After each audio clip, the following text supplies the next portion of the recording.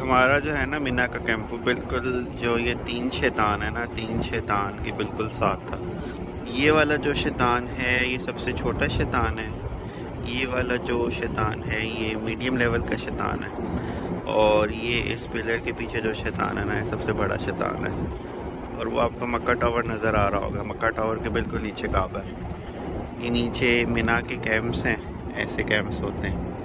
और हमारा कैंप ना वो ऊपर करके इस, ब्रिज की बैक साइड पे है। और उसके आगे बिल्कुल ये पहाड़ है ब्लैक ब्लैक पहाड़। हम बिल्कुल ना शैतान के साथ हमारा कैंप था.